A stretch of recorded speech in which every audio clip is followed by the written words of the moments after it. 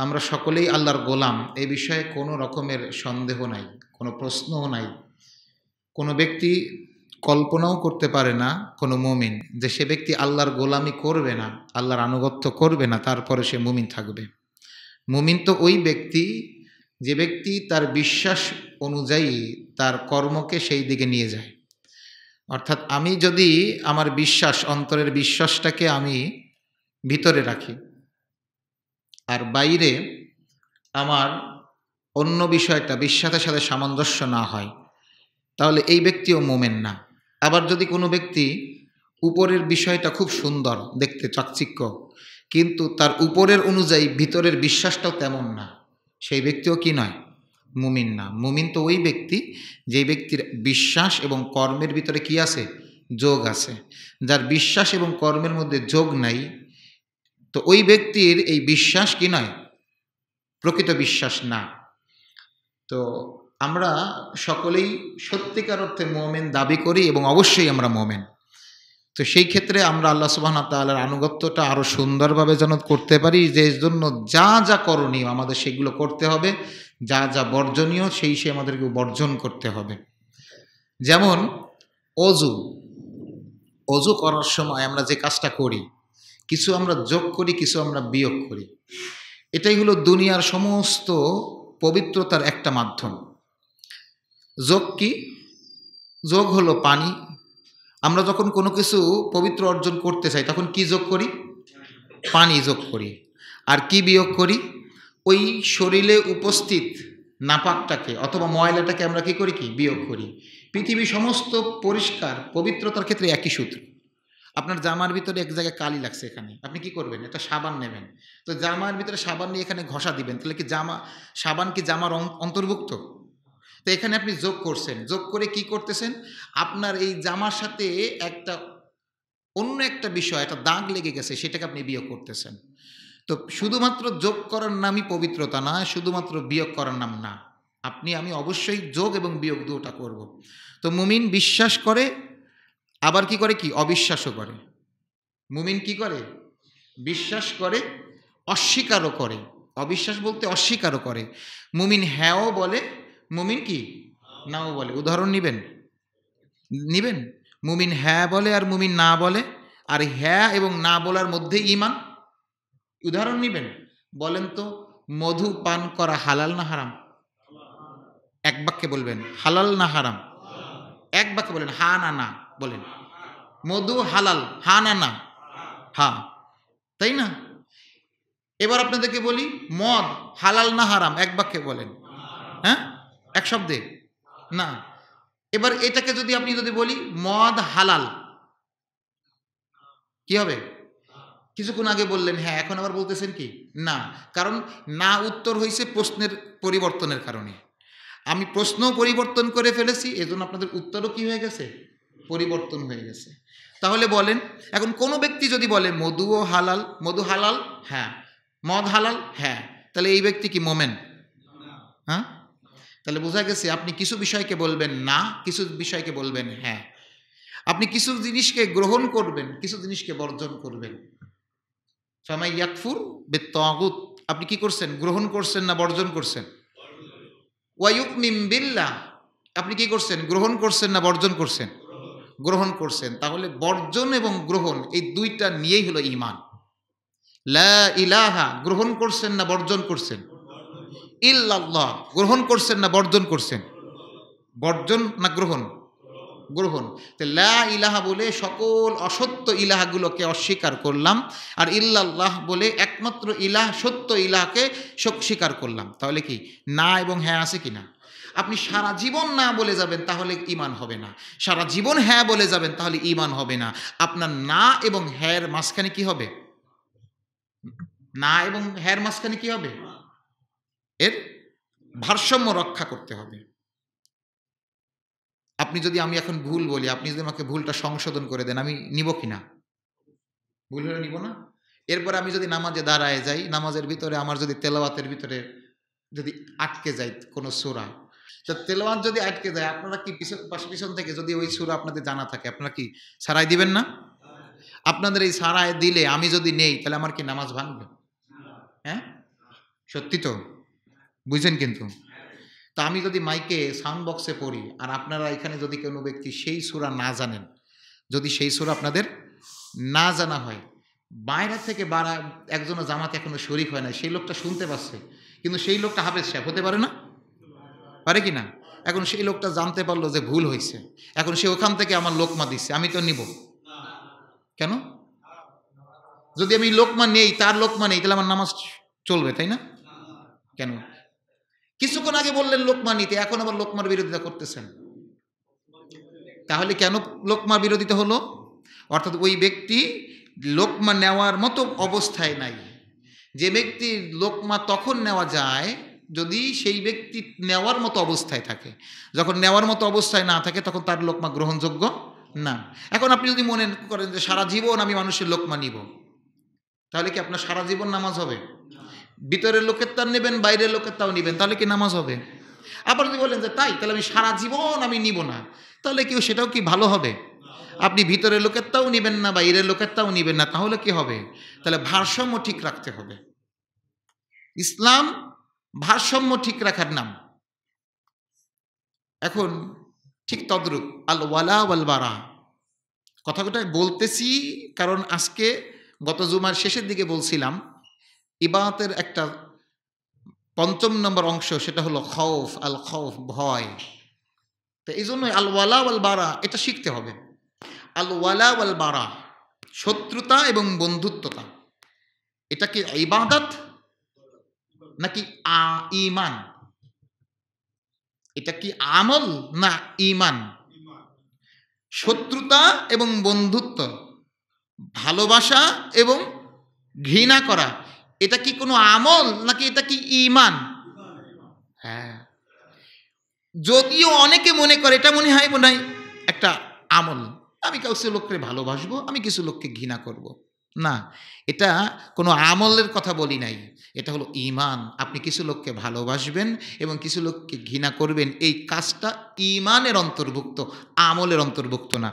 যদিও সমস্ত আমল, যদিও সমস্ত আমলই ইমানেরই কি কি বহিঃপ্রকাশ? কিন্তু এটা ইমানের অন্তর্ভুক্ত, যে ব্যক্তির ভিতরে আল্লাহর জন্য ভালোবাসা নাই, আল্লাহর জন্য শত্রুতা নাই, ওই ব্যক্তির কি ইমান ঠিক আছে। আল্লাহর জন্য ভালোবাসা। আল হুব্বু বিল্লাহ। ভালোবাসবেন কার জন্য? আল উকদু বিল্লাহ। শত্রুতা করবেন কার জন্য? তাহলে ও আমার শত্রু কেন? বলেন। ও আমার স্বার্থে আঘাত দিছে তাই। স্বার্থে আঘাত লাগছে তাই। ও আমার শত্রু কেন? আল্লাহর শত্রু তাই। ও আমার বন্ধু কেন? আল্লাহর বন্ধু তাই। আল্লাহ ওকে ভালোবাসলে আল্লাহ খুশি হবে। আর ওকে ঘৃণা করলে কি হবে? আল্লাহ খুশি হবে। ঘৃণা করলেও আল্লাহ খুশি হয়, ভালোবাসলেও আল্লাহ খুশি হয়। হয় কি হয় না? এখন আপনি যদি যাকে ঘৃণা করবেন, ওরও তো একটা মন আছে। আছে কি নেই? আছে না? তো মন ভাঙা তো আর মসজিদ ভাঙা, এটা খুব কঠিন ব্যাপার। কারণ আপনি তাকে ঘৃণা করবেন, ওরও তো একটা মন আছে। আছে না নাই? আছে কি না? তাহলে ওর মন আপনি কি করে ভাঙবেন? মন ভাঙা আর মসজিদ ভাঙা, সমান কথা। আপনি ওর মন ভাঙতে পারবেন। আবু জাহেলের মন আপনি কেন ভাঙবেন? আবু জাহেলও তো মানুষ। ওর মন আপনি কেন ভাঙবেন? ওকে আপনি কেন শত্রু মনে করতে যাবেন? ফেরাউনকে আপনি কেন শত্রু মনে করতে যাবেন? সে তো মানুষ। আপনি নমরুদকে কেন শত্রু মনে করতে যাবেন? সে তো মানুষ। তাহলে মন ভাঙা তো আর মসজিদ ভাঙা তো সমান। এখন এদেরকে শত্রু ভাববেন না বন্ধু ভাববেন? আচ্ছা যদি কেউ বন্ধু ভাবে হ্যাঁ তাহলে সে কার সাথে শত্রুতা হয়ে যাবে? ওদেরকে বন্ধু বানাইতে গেলে কাদের সাথে শত্রুতা হবে? কিন্তু সমাজের মানুষ এ খৌফ, ভয়, এই ভয়টা কাজ করে। করে কি করে না? ভয়। তো ইবাদতের পঞ্চম নম্বর বৈশিষ্ট্য হল আল খৌফ, ভয়। আমার, আপনার অন্তরের ভিতরে যে ভয় আছে না ভয়, আপনি, আমি সবাই ভয় পাই পাই কি না? এখানে ভয় পাই না, এমন লোক নাই, সবাই পাই পেয়ে আসছি, পাচ্ছি, কেমত পর্যন্ত প্রত্যেকেরই ভয় আছে। কিন্তু আমরা কোন ভয়ের কথা বলছি? এই ভয়, এমন ভয় যেই ভয়ের কারণে আমার দিন পরিবর্তন হয়। এই ভয়, এমন ভয় যেই ব্যক্তির জন্য আল্লাহর ইবাদত বাদ দিয়ে অন্যের ইবাদত করতে হয়, এমন ভয়। আপনি কুকুরকে ভয় করেন না? মশাকেও তো ভয় করেন। করেন কি না? তো এই ভয়ে তো শির্ক, তাই না? না? তাহলে এই ভয় এমন ভয় যেই ভয় আপনাকে আল্লাহর দিন থেকে বের করে দেয়। এই ভয় এমন ভয় যেই ভয় আল্লাহর ইবাদত ছেড়ে দিয়ে অন্যের ইবাদত করায়। এমন প্রত্যেকটা ভয় ছেড়ে দিতে হবে। ওই জায়গায় কার ভয় লাগাইতে হবে? আল্লাহর ভয়। ওখানে কার ভয়? আর মানুষ ওইখানে কি করে? ওইখানে এসে ভয়ের জায়গায় মানুষ দুনিয়ার এই বিষয়কে, দুনিয়ার এই শয়তানদের দোসরদেরকে সঙ্গীদেরকে ভয় করে। ভরে ঘরে কি করে? আল্লাহর দিন থেকে সরে সরে যায়। আল্লাহর দিন থেকে সরে যায়। দুনিয়ার ভয়কে। কিন্তু ভয় হতে হবে কার?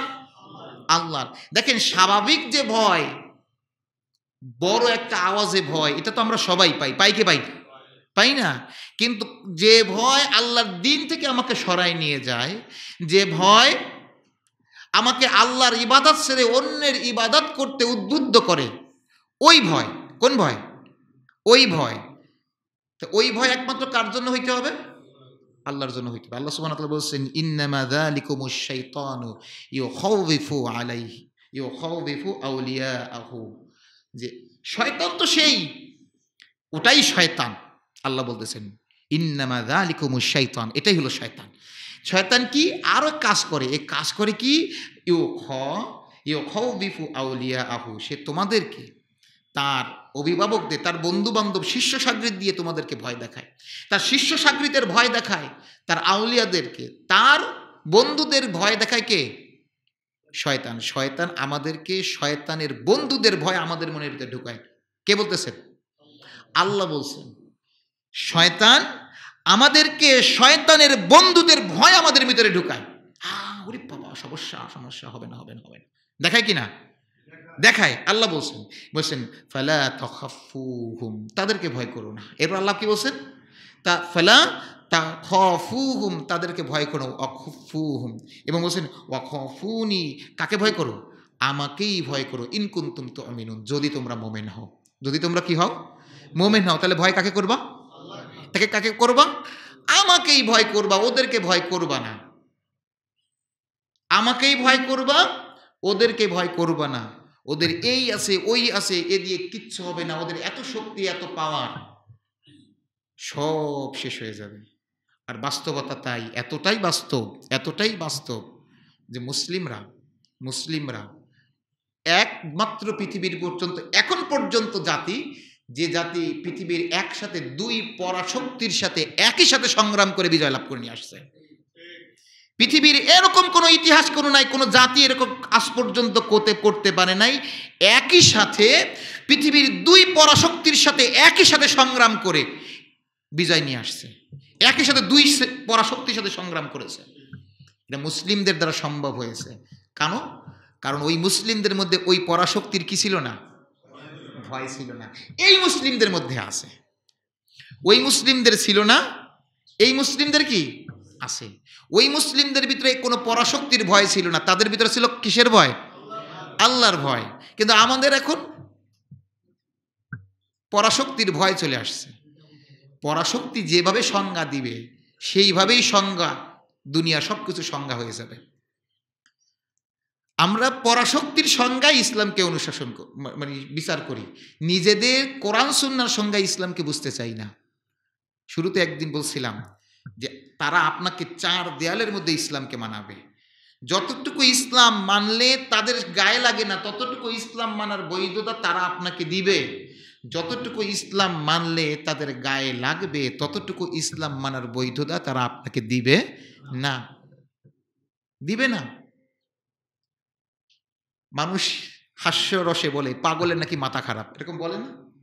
সম্প্রতি ভারতের এক হাইকোর্টের, এলাহাবাদের হাইকোর্টের রায় শুনছেন? সেখানে এক মুসলিম যুবককে গ্রেপ্তার করা হয়েছে গরু হত্যা করে, গো হত্যার জন্য। গরু জবই করার জন্য তাকে দেওয়া হয়েছিল, তাকে গ্রেপ্তার করা হয়েছে, জামিন নামঞ্জুর করা হয়েছে। জামিন কি করা হয়েছে? নামঞ্জুর করা হয়েছে। অতঃপর বিচারক যে রায় দিয়েছে সেটা শুনলে আরও হাস্যকর। তিনি বলছে যে, গরুকে ভারতের জাতীয় পশু করা হোক গরুকে ভারত, ভারতের জাতীয় পশু ঘোষণা করা হোক, সংখ্যালঘুদের খাদ্য বলে, কারণ কোনো প্রাণীকে হত্যা করা বৈধ হবে না, কারণ বাঁচার স্বাধীনতা সবার আছে। আচ্ছা এটা শুধু গরুর ক্ষেত্রেই হবে? মুরগির বাসার স্বাধীনতা নাই? ছাগলের নাই? পাঠার নাই হ্যাঁ? পাগলের কি মাথা খারাপ হয়েছে আচ্ছা বাঁচার স্বাধীনতা সবার আছে গরুর বাঁচার স্বাধীনতা আছে, তো মুরগির নাই, ছাগলের নাই, পাঠা পাঠার নাই, এদের বাঁচার স্বাধীনতা নাই, স্বাধীনতা শুধু গরুর থাকবে। এখন সেটা তাদের বিষয়, কিন্তু বিষয়টা যেটা বলতে চাচ্ছিলাম, বাঁচার স্বাধীনতা সবার আছে আপনাকে ততটুকুই ইসলাম মানতে দিবে, যতটুকু তাদের গায়ে বাজে না। মুসলিম যদি ছাগল জবাই করে খায়, ছাগল যদি কুরবানি দেয়, ওদের সমস্যা নাই। উঠ যদি কুরবানি দেয়, ওদের সমস্যা নাই। সমস্যা হলো ওরা যদি গরু কুরবানি করে, গরু তো ওদের দেবী, অতএব গরু দিতে পারবে না। অর্থাৎ তুমি বক্সের মধ্যে ইসলাম মানবা। এমন ইসলাম তুমি মানার যোগ্যতা রাখো না, যেটা আমাদের গায়ে লাগে। যদি তাই হতো তাই তোমরা গরু জবাই করে খাচ্ছ, কোরবানি দিচ্ছ ভাই, তোমাদের বিষয়। আমরা গরুকে মা বলে পূজা করি, আমরা করি। আমাদের কোনো সমস্যা নাই। এটা যদি হতো তাহলে বুঝতাম, কিন্তু এভাবে তো ইসলাম আমাকে মানতে দিচ্ছে না। দিচ্ছে নাকি? জামিন নামঞ্জুর করে দিয়েছে। আরও আজব। এমনও তো হয়েছে, আমরা শোনা কথা। আল্লাহ ভালো জানেন কতটুকু সত্য। গরু জবাই করছে কেন? এই জন্য মানুষ পিটাইয়ে মারি ফেলাইছে। তো গরুর বাঁচার অধিকার আছে, মানুষের বাঁচার অধিকার নাই। তুই গরু জবাই করলি কেন? এই জন্য পিটায় মানুষ মেরে ফেলাইছে। কে আছে না এরকম ঘটনা? হয়েছে না পৃথিবীতে? তার মানে গরুর বাঁচার অধিকার আছে। বাঁচার অধিকার নাই কার? মানুষের। মানুষের বাঁচার অধিকার নাই। মানুষ বাঁচতে পারবে না। মানুষ বাঁচতে পারবে না। এটা আমাদের সমাজে আসে না নাই? কিন্তু খৌফ, এই ভয় কার মধ্যে থাকবে? ভয় কার মধ্যে থাকতে হবে? এই মমিনদের মধ্যে অন্তরের ভিতরে ভয় রাখতে হবে। আমি, আপনি যদি এই অন্তরের মধ্যে এই ভয় না রাখি, যদি ভয় আল্লাহ ছাড়া অন্য কারোর জন্য থাকে, তাহলে পদে পদে পদে পদে আমরা এরকম পদস্খলন করবে। ভয় কেমন? আল্লাহ রসুল সাল্লাম বলছেন বলছেন, অচিরেই অদূর ভবিষ্যতে খুব সম্প্রতি দেখতে পারবা যে তোমরা যেরকম এরকম প্লেটে খানা বিছাও, বিছায়ে তোমরা চারো পাশ থেকে ঘুরে বসো, বসে যেখানে ইচ্ছা সেখানে প্লেটের মধ্যে হাত দাও, দিয়ে সেখান থেকে খাবার তুলে খাও। খাই নাই আমার এরকম? যদি একটা বড় থালার মধ্যে খাবার রাখেন, চারজন এক জায়গায় সাথে বসে যদি খান, তাহলে যে কেউ যেখানে হাত দিয়ে কখনো এইটা খায়, ওইটা খায়, তুলে তুলে খায় না? তোমাদের জন্য এরকম দুর্ভোগ আসতেছে।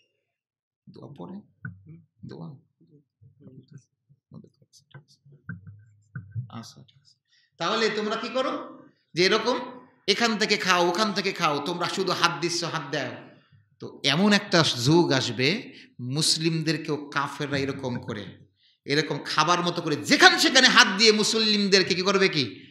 এরকম মুসলিমদেরকে দুর্বল করবে, মুসলিমদেরকে উপরে নির্যাতন করবে, মুসলিমদের উপরে কর্তৃত্ব করবে। তখন সাহাবারা বলেন ইয়া রসোল্লাহ এরকম হবে কেন? তারা কি সংখ্যায় কমে যাবে নাকি? সাহাবিরা কি বলতেছে? আচ্ছা কখন বলতেছে এই কথাটা? এই কথা আল্লাহ রসুল সাল্লাহ সাল্লাম বললেন, সাহাবারা শুনলেন। শোনার পরে যে সাহাবি এই প্রশ্ন করলেন, ইয়া রসুল্লাহ এটা কখন হবে? যখন তখন কি মুসলিমদের সংখ্যা কমে যাবে? আচ্ছা সেই জামানায় মুসলিমদের সংখ্যা বেশি ছিল না কম ছিল? তার মানে ওনারা ওইটার চাইতেও কম মনে করে। ওনাদেরটাকে কি মনে করতো না? বলেন। কম মনে করতো না। তার মানে এর চাইতেও কমবে। আল্লাহ রসুল সাল্লাহ সাল্লামকে প্রশ্ন করতেছেন সাহাবারা, তখন কি মুসলিমদের সংখ্যা কমে যাবে? যে এইরকম ওরা আমাদের উপরে একরকম কর্তৃত্ব করবে, যখন তখন আমাদেরকে খেয়ে ফেলবে। আল্লাহ রসুল বললেন, না না না। বরঞ্চ আরও বেশি হবে, তোমাদের চাইতেও বেশি। বেশি হবে, কিন্তু কি হবে?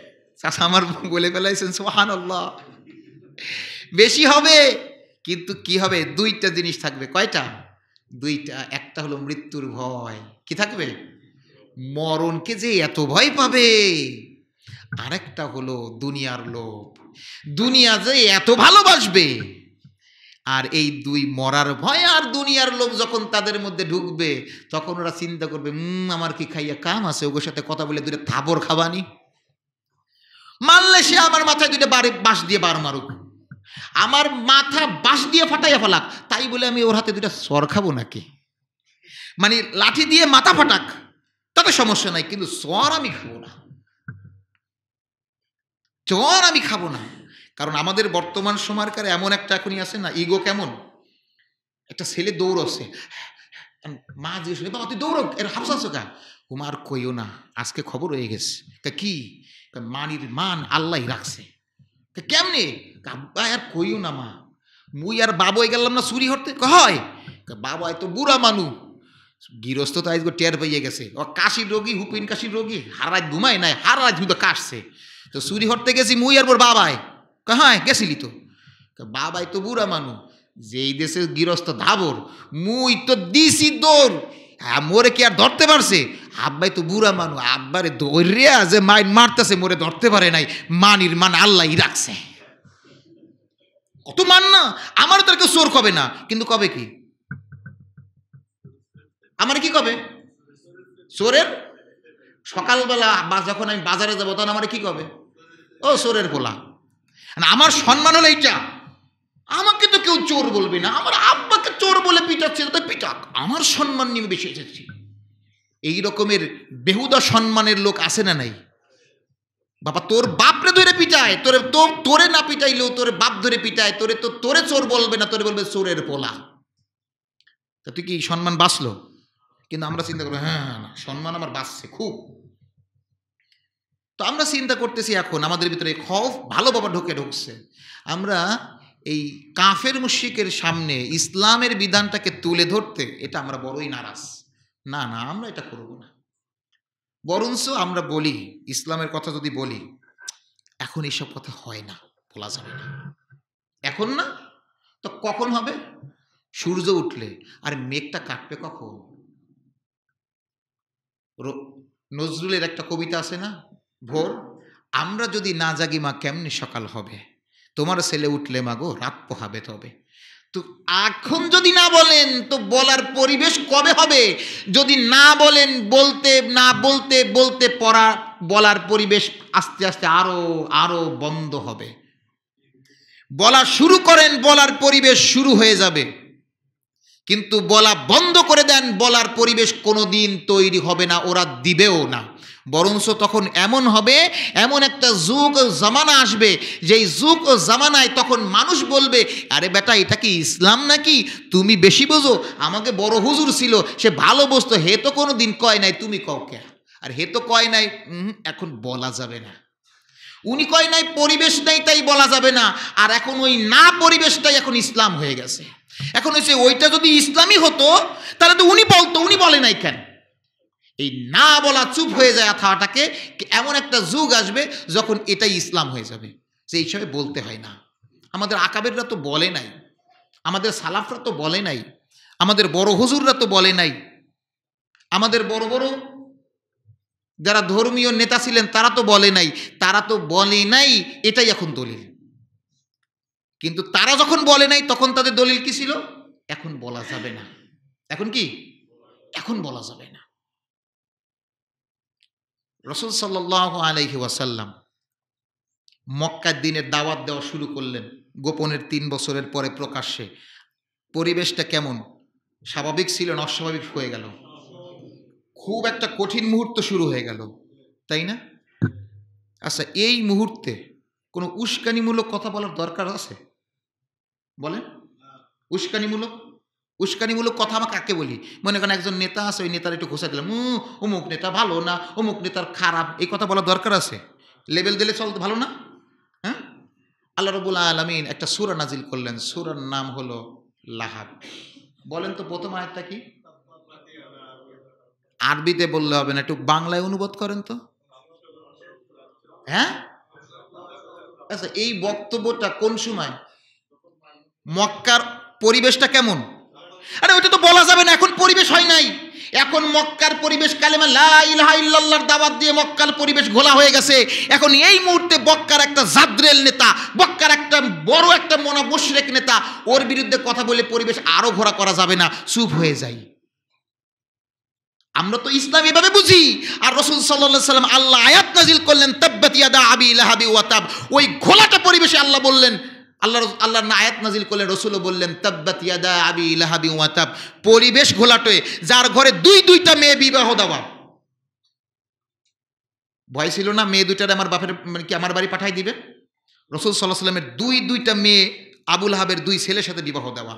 এত একটা নাজুক একটা মুহূর্ত, যে এই মুহূর্তে মক্কার পরিবেশ ঘোলাটে হয়ে গেছে, এই মুহূর্তে তাব্বাতিয়া দেয় আবি ইলাহাবি ওয়াতাব এ আয়াত নাজিল হওয়ার কোনো যৌক্তিকতা আছে? আছে কি নাই আছে? আমাদের বর্তমান যুক্তি কি আছে? নাই, এসব বলা যাবে না। এখন পরিবেশ হয় নাই। আমরা পরিবেশ খুঁজি, আর আল্লাহ সুবাহ বলছেন, ওই সময় বলো। মুসা আলাইহি সাল্লাতামকে রেসালাত দিলেন, দিয়ে বলছেন, যাও, বনি ইসরায়েলকে বুঝাও। কাকে বুঝাইতে বলছেন? হ্যাঁ? ফেরাউনে যাই কি বলছেন? ফেরাউন, তুমি একটু কালকে আমার কথাটা শুনবা, তুমি অনেক ভালো, তাই? ফেরাউনের বিশ্বাসের একেবারে গোড়ায় যে আঘাত করছেন, তুমি রব হতেই পারো না। তুমি বরঞ্চ তোমার রবুবিয়াতকে অস্বীকার করে আমাদের ইলা একমাত্র ইলা আল্লাহকে রব বলে মেনে নাও। এটাই তো দাওয়াত ছিল, তাই না? ফেরাউনের একেবারে বিশ্বাসের গোড়ায়, যে বিশ্বাসের ভিত্তি করে ফেরাউন শাসন করে, সেইখানে যেই একেবারে মূল মন্ত্র, মৌলিক নীতিমালার উপরে আঘাত করলেন ফেরাউনের। ফেরাউনের রাজ্য পরিচালনা, ফেরাউন এই এটা তো মিশরের শাসকদের উপাধি। এদের রাষ্ট্র পরিচালনা করার মৌলিক যে নীতিমালা, সেই নীতিমালায় যে আঘাত করলেন, আষ্টে পিষ্টে বলেন নাই ডাইরেক্ট আমরা বলব যে না, এখনও পরিবেশ হয়নি। পরিবেশটা হোক, এখন হবে না। আমরা বেশি বুঝে ফেলাইছি। খফ। ইবাদতের মধ্যে পঞ্চম নম্বর একটা শর্ত কি? গুণ থাকতে হবে, বৈশিষ্ট্য থাকবে, সেটার নাম কি? খফ। কাকে ভয় করব? আল্লাহকে ভয় করব। আল্লাহকে ভয় করব। এই আল্লাহকে ভয় করে যদি আমি আপনি কোনো ইবাদাত করি, সেটা ইবাদাত হবে। কোনো কাজ যদি করি, সেটা কি? ইবাদাত হবে। তা ইবাদতের এই পঞ্চম নম্বর বৈশিষ্ট্যের নাম কি? খৌফ। ইবাদতের ষষ্ঠ নম্বর বৈশিষ্ট্য, রজা। অর্থাৎ যার দিকে ফিরে যাওয়া হয়, যাকে আকাঙ্ক্ষা করা হয়, যাকে চাওয়া হয়। তো ইবাদতের আরেকটা বৈশিষ্ট্য, ষষ্ঠ নম্বর বৈশিষ্ট্য সেটা হলো আর রজা আমরা কাকে চাইব? কাকে? আমরা আল্লাহকে চাই। আল্লাহকে চাওয়ার জন্য, আল্লাহকে পাওয়ার জন্য আমি, আপনি যা কিছু করি এগুলো নাম হলো আদাত তাই না? আমরা কারকে চাই? আল্লাহকে চাই। এখন আল্লাহকে চাওয়ারদের যারা চায়, তাদের কিছু বৈশিষ্ট্য আছে। শুনবেন নাকি দুই একটা? হ্যাঁ? সোরা কাহাফের একশো দশ নম্বর কাফের একশো দশ নম্বর আয়ত আল্লাহ বলছেন, ফেমান কানা ইয়ারজুল্লাহ লিকা রব্বিহি যে ব্যক্তি তার রবের সামনে দাঁড়ানোটাকে কামনা করে, ভয় করে, আকাঙ্ক্ষা করে চায় যে চাই যে সে আমি আমার রবের সামনে দাঁড়াবো। আচ্ছা চাইলেও দাঁড়াবো, না চাইলেও কি দাঁড়াবো নাকি? না চাইলে তো দাঁড়ানো লাগবে না। হ্যাঁ? একবার এক ব্যক্তি তার ঘরের বারান্দায় বসে তার দাড়ি একটু আশ্রা ছিল, তেল মাখতেছিল, আয়না দেখে দেখে। হঠাৎ করে দেখে দাড়ি একটা পেকে গেছে। এখন তিনি বলতেছেন, হে আমার বার্ধক্য, তোমাকে আমি স্বাগতম। হে আমার বার্ধক্য, তোমাকে শুভেচ্ছা, তোমাকে অভিনন্দন, তোমাকে মোবারকবাদ। তুমি আরও সুন্দরভাবে প্রস্ফুটিত হও। তুমি সুন্দরভাবে তোমার বার্ধক্যটাকে আরও আমার ভিতরে কি করো কি? বিচরণ করো। ঘরের মধ্যে ছিল স্ত্রী। এখন বউ বলে পাগল নাকি? কেউ বুড়ো, বার্ধক্যকে কি চায় নাকি? কেউ কি চায় যে বার্ধক্য আসুক? বলছেন তুমি কি বোকা? তোমার একটা দাড়ি পেকে গেছে আর তুমি সেই দাড়িকে স্বাগতম জানাচ্ছ, বলতেছ আরও পাকুক আরও পাকুক। তিনি বললেন, দেখো, এমন মেহমান, যে মেহমানকে বাধা দিলেও ফেরানো যায় না। তো বুদ্ধিমান তো ওই ব্যক্তি, যিনি ওই মেহমানকে স্বাগত জানিয়ে ঘরে নিয়ে আসে। আমি না চাইলেও বার্ধক্য আমার মধ্যে আসবে। তাহলে আমার চাওয়া না চাওয়ায় কোনো কিছু যায় আসে না। তাহলে বুদ্ধিমানের কাজ হবে, যেহেতু আমি না চাইলেও আসবে, তাহলে চেয়ে নিয়ে আসি। কে কি আসি? চেয়ে নিয়ে আসি। তো আপনি, আমি যদি আল্লাহর সামনে দাঁড়ানো না চান, তাতেও দাঁড়াইতে হবে। কি? যদি না চান, তাহলে দাঁড়াইতে হবে না। যদি আল্লাহর সামনে দাঁড়াইতে না চান, তাহলে কারও দাঁড়াইতে হবে না, ঠিক কিনা? কি, দাঁড়াইতে হবে কি না না চাইলেও দাঁড়াইতে হবে, তাহলে যদি না চাইলেও দাঁড়াইতে হয়, তাহলে বুদ্ধিমান তো ওই ব্যক্তি যে চায় দাঁড়াইতে। কারণ আমি না চাইলেও দাঁড়াবো, তাহলে আমি চাই দাঁড়াইতে। এতটুকু তো বলতে পারব, আল্লাহ, আমি চাইছিলাম তোমার সামনে দাঁড়াইতে। বলতে পারব না। তা আল্লাহ বলছেন, ফামান কানা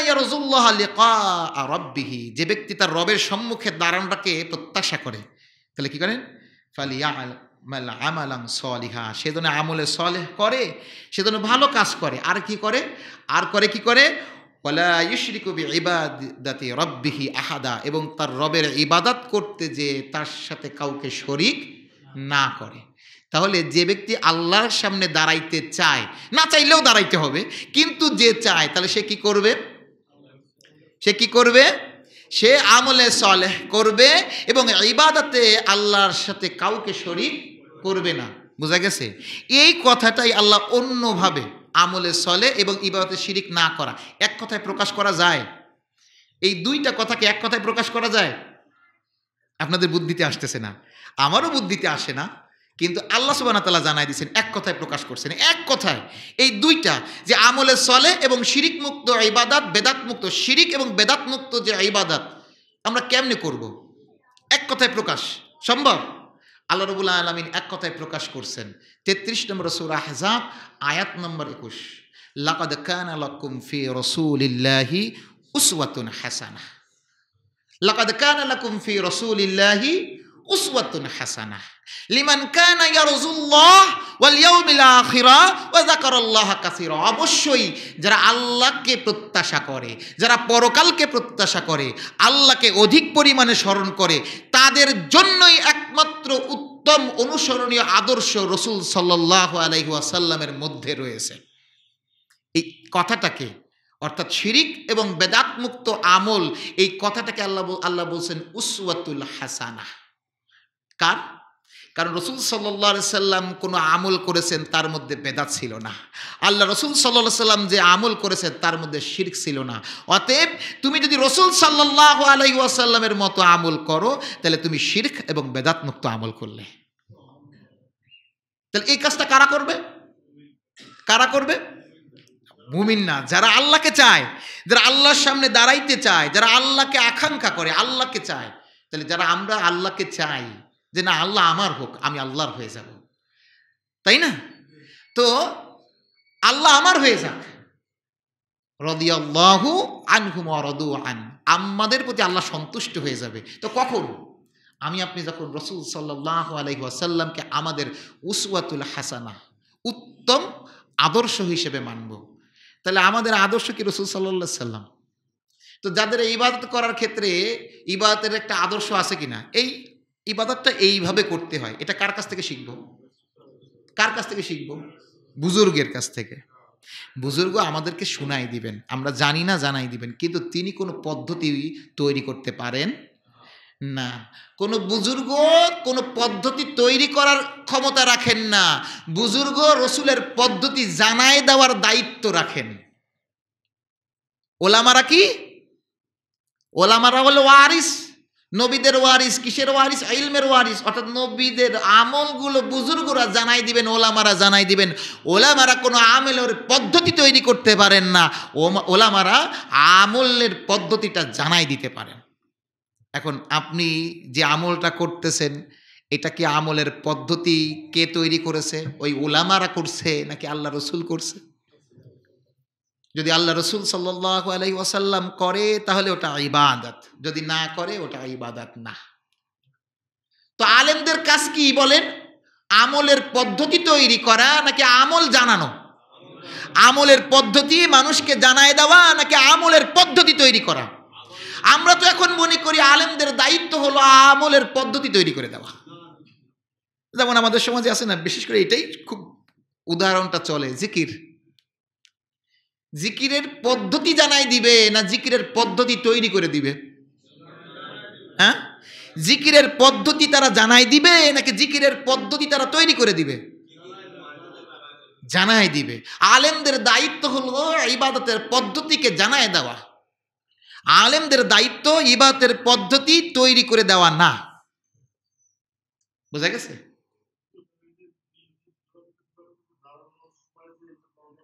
জি। আলেম, এটা তো কোনো আলেম না। এটা কোনো আলেমের জানানো না এবং এটা বিষয় না। এটা কোনো ইবাদতের পদ্ধতি না। আমি তো আপনার ইবা মূল বিষয় থেকে সরে গেছি আমরা তাহলে। এটা ইবাদতের পদ্ধতি না। যাই হোক, এটা একটা অন্য বিষয়, মাসালা। এটা ইবাদতের কোনো পদ্ধতি না। এটা দাঁড়ানো হয়েছে, অসুস্থতার একটা ওজোর দেখায়। এখন এই ওজোর দেখে এই দাঁড়ানোটা বৈধ হবে কিনা? ধরে নেন, একজন আমাদের আত্মীয়ার চাচা চেয়ারে বসে নামাজ পড়বে। দাঁড়ায় নামাজ পড়া ফরজ না বসে নামাজ পড়া ফরজ? এখন উনি চেয়ারে বসে নামাজ পড়তে পারবে কি না এটা একটা পদ্ধতি। এখন কোনো আলেম বলবে হ্যাঁ পড়তে পারে, কোনো আলেম বলবে, পড়তে পারে না। একটা একটা বিষয়। এটা পদ্ধতি না। কিন্তু দাঁড়ায় নামাজ পড়তে হয় না, বসে নামাজ পড়তে হয়, এটা হলো, আমরা জানব কার কাছ থেকে? রসুল সাল্লাহ সাল্লামের কাছ থেকে। আর এটা হলো একটা ওজোরের মাসালা যে এখন অসুস্থ, এখন একজন ব্যক্তি বসে নামাজ পড়তে পারবে কিনা? এখন করোনার অভিযোগ মানে অভিযোগ বলে ফেলাইছি, অজুহাত তুললো বা অভিযোগ তুললো, যে করোনার নাম আসলো, এখন আমরা পাশে পাশে দাঁড়াইতে পারব কিনা, ফাঁকা ফাঁকা দাঁড়াইতে হবে। এটা হলো আমাদের ওই একটা বিষয়। আমরা তো বলছি যে আসলে আমরা সব ইসলামাইজেশন করি। মূলত আমরা প্রথমে পৃথিবীতে যখনই কোনো বিষয় আসে, তখন সেই বিষয়টাকে আমরা কি করি? ইসলামের কাছে সমাধান নেই না। প্রথম সমাধান নেই আমরা কাফের মুশিকের কাছ থেকে। নেওয়ার পরে ওই সমাধানটাকে আমরা ইসলামের মোড়ক লাগাই। যেমন করোনা আসলো, বিশ্ব স্বাস্থ্য সংস্থার কাছে নিয়ে গেলাম, এখন বাঁচার উপায় কি?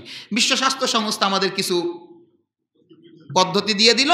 ওইগুলোকে এখন আমরা ইসলামের রূপরেখা, রিপ ইসলামের সাথে কি করতেছি কি? মোরক লাগাইলাম। যে না, হাত ধুইতে হবে হ্যাঁ আমরা তো ওদের সময় হাত ধুই। ঠিক তো ভালো তো, ফাঁকা ফাঁকা থাকতে হবে। হ্যাঁ আল্লাহ রসুল তো বলছেন, আক্রান্ত এলাকায় যাব না, আক্রান্ত এলাকা থেকে বেরো হবে না। হ্যাঁ হ্যাঁ হ্যাঁ হ্যাঁ এই তো হোম কোয়ারেন্টাইনের একটা উদাহরণ পাওয়া গেছে। তো আগে কি আমরা ইসলাম থেকে এটা নিয়ে আসছি, নাকি বিশ্ব স্বাস্থ্য সংস্থা, রসুলের এই সুন্নাত দেখে এটা বানাইছে, বলেন তো? বিশ্ব স্বাস্থ্য সংস্থা একটা সমাধান দিছে, ওইটাকে আমরা ইসলামাইজেশন করছি। যদি আমরা ইসলামের কাছ থেকে সমাধান নিতে চাইতাম, আমরা এখানে আলোচনা করেছি। মাগরিবের সময় বিষয়ে আলোচনা করেছি এবং জুমায় এক সময় করছি।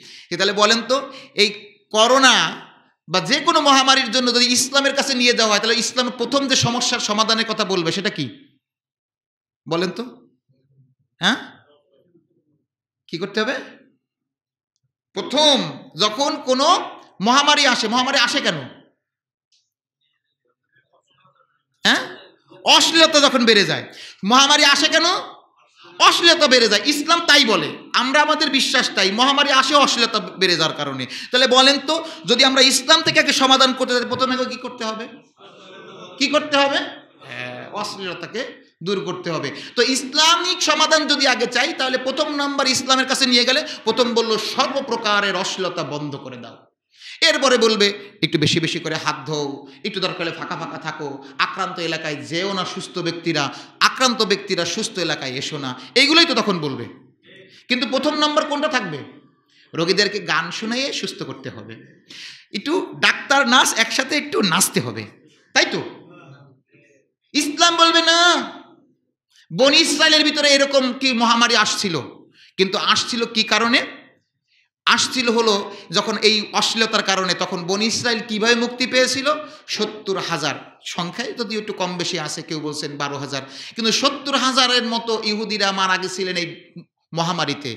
যখন মহামারীতে মারা গেল, শেষ যখন, তখন কীভাবে তারা মুক্তি পাইছিল? দেখতেছে যে তাদের কওমের যিনি একজন নেতা ছিলেন, উনি যে অশ্লীল কাজে লিপ্ত আছেন। তো একজন আল্লাহর এক মুজাহিদ, আল্লাহর এক বান্দা, ওই দুইজনকে একসাথে দুইজনে সুরমাদানিতের মতো ঠোকর দিচ্ছিল বুঝেন তো? সুরমাদানি যেরকম সুমরুদানি এরকম ওই অবস্থায় যাইয়ে একেবারে একেবারে বল্লম দিয়ে এমন ঘা মারেছে যে নারী পুরুষ দুইজন ওই অবস্থায় এপার ওপার ফোটাফুটো হয়ে গেছে। ওই অবস্থায় উনি ওই বল্লম উঠে ঘাড়ে উঠাইলেন উঠাই বলেন আল্লাহ, এই জালেমকে, এই পাপিষ্ঠকে আমরা শেষ করে দিয়েছি। আল্লাহ, তুমি এই করোনা, এই মহামারীকে আমাদের ভিতর থেকে উঠায় নাও। ইতিহাস বলে ইসলাম বলে আল্লাহ রবুল্লা আলমিন ওই মহামারীকে ওইখান থেকে উঠায় নিয়েছিলেন তাহলে কীভাবে করতে হবে? অশ্লীলতাকে বন্ধ করতে হবে। এখন ওইটা আগে করতে হবে। তো আমরা তো সেখান থেকে নেই না ইসলামের সমাধানটা। আমরা নেই, আমরা যেভাবে বুঝি টুঝি সেভাবে করে দেয় কারণ আমরা ইসলামাইজেশন করি সব কিছু থেকে ইসলামাইজেশন। মানে সব কিছু যা আছে পৃথিবীতে, ওইগুলোকে ইসলামে রেখা লাগাই দিই। এখন আমাদের হালাল সুদ আছে আছে না পৃথিবীতে? হালাল মদ আছে আছে কি না? আছে কি না হালাল সুদ, হালাল মদ, আছে না? ইসলামী মদ, ইসলামী সুদ। এগুলো সব আছে, সব ইসলাম। এখন এগুলো, এইগুলোকে ইসলামী মোরক লাগে ইসলামাইজেশন করা হয়েছে। ইসলামী, আবার কি আছে কি? অনেক গণতন্ত্রও আছে। ইসলামে কি আছে? গণতন্ত্রও আছে। সব ইসলামাইজেশন করা চলতেছে। ইসলামী গণতন্ত্র, ইসলামী মত সব হলো ইসলাম। সব কি? আবার ইসলামী জাতীয়তাবাদ। ইসলামী জাতীয়তাবাদ আছে। কিন্তু যেভাবে তারা বলে সেভাবে নাই। আল মুসলিমও আখুল মুসলিম, এটাই হলো ইসলামী জাতীয়তাবাদ। এটাই কি? কোনো বর্ডারের মধ্যে ইসলামী জাতীয়তাবাদ হতে পারে না। ইসলামী জাতীয়তাবাদ সারা পৃথিবীব্যাপী হতে হয়। তো এরকম আছে তো, আছে কি না তো এরকম আমাদের সমাজে এরকম চলে। তো এইগুলো দিয়ে না, তো যেটা বলছিলাম, সেটা হলো ইবাদতের যে ষষ্ঠ নম্বর বৈশিষ্ট্য, সেটা কি? বলেন। সেটা হলো আর রাজা আকাঙ্ক্ষা করা। কোনটা আকাঙ্ক্ষা করব? আল্লাহ সম্মুখে দাঁড়ানো। আল্লাহকে আমরা চাই। চাইতো ইনশাল্লাহ সবাই আল্লাহকে চাইতো আল্লাহ যেন আমাদের হয়ে যায়। আর আমরা আল্লাহর হয়ে যাই। আমরা আল্লাহর হয়ে যাই, আল্লাহও যেন কি হয়ে যায়? আমাদের হয়ে যায়। আল্লাহ রবুল্লা আলমিন আমাদেরকে সেই তৌফিক দান করেন, আমাদের ভুলগুলোকে মাফ করেন।